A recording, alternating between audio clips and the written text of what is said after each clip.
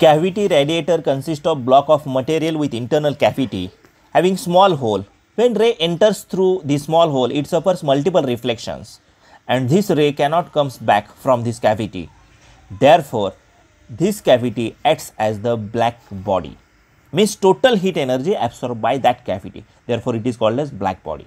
When this block is heated at high temperature, then the thermal radiations are emitted from it. This is called as cavity radiations or cavity radiator and it resembles the radiations emitted by the black body. Its nature depends only on the temperature of the cavity walls and not on the shape and size of the cavity.